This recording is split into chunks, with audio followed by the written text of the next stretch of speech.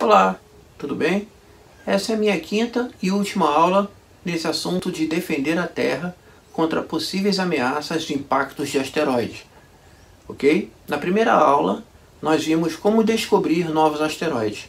Na segunda aula, nós vimos como acompanhar os asteroides para notarmos, para percebermos se eles realmente são NEOs, né? aqueles asteroides que têm potencial de atingir a Terra, que po possam ser perigosos à Terra.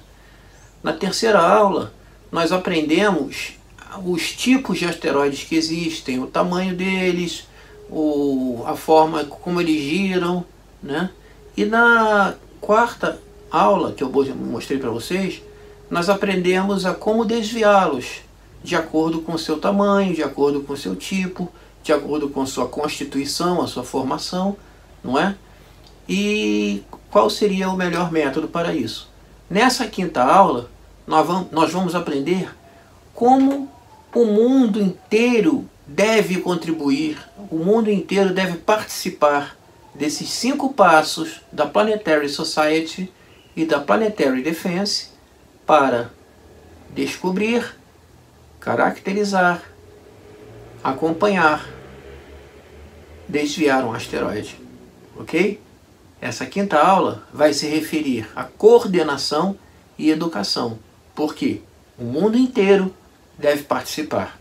Nessa quinta aula, vocês também vão conhecer, quem já não conhece, é claro, as duas organizações brasileiras que são voltadas para esse assunto em particular.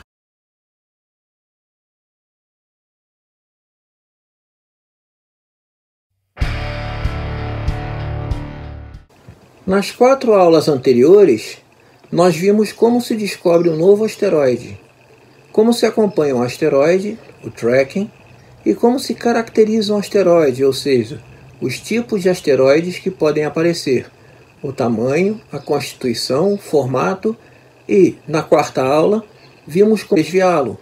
Nessa aula, veremos como podemos nos defender juntos, além de se tornar um voluntário nessa empreitada. Coordenar e educar. Defender a Terra é um assunto mundial que requer cooperação internacional. Por quê? As observações precisam ser coordenadas por todo o planeta.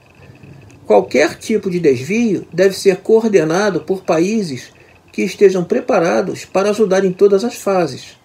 A missão de desvio irá mover o alvo, o asteroide, até que ele fique fora da Terra. Mas isso significa que ele vai se mover atravessando uma nação após outra durante esse desvio, o que significa que pode causar um risco para essas outras nações. Essa é uma das razões de que é muito importante educar o mundo quanto à ameaça dos asteroides, em todos os níveis, desde legislações até as organizações de controle e gerenciamento de ameaças, e até ao público em geral. Assim, Todos nós entendemos que é por isso que estamos fazendo essas aulas. A ameaça dos asteroides e como nos prevenirmos. Se nós trabalharmos para utilizar essas cinco etapas descobrir, acompanhar, caracterizar, desviar, educar e coordenar nós poderemos evitar o impacto e um asteroide. Assim, todos nós entendemos que é por isso que estamos fazendo essas aulas a ameaça dos asteroides e como nos prevenirmos. Se nós trabalharmos para utilizar essas cinco etapas, nós poderíamos evitar o impacto de um asteroide. A NASA e a Planetary Society estão trabalhando nisso, concordam com essas cinco etapas e estão em contato com agências pelo mundo inteiro para prevenir o impacto de um asteroide. Entretanto, outros recursos são necessários e mais precisa ser feito. Vamos colocar nossas mãos à obra. Nós temos um plano de defesa. Os dinossauros não tinham.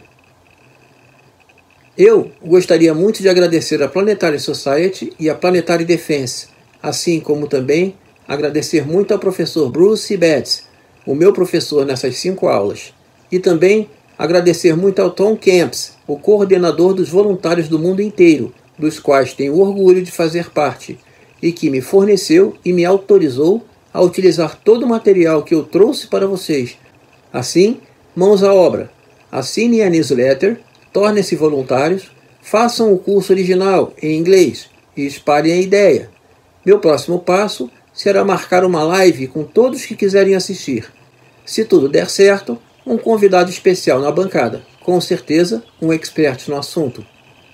Bom, esse era o assunto que eu tinha para vocês hoje. Obrigado a todos os que assistiram a essa série.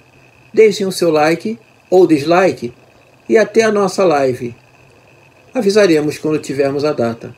E tchau, tchau.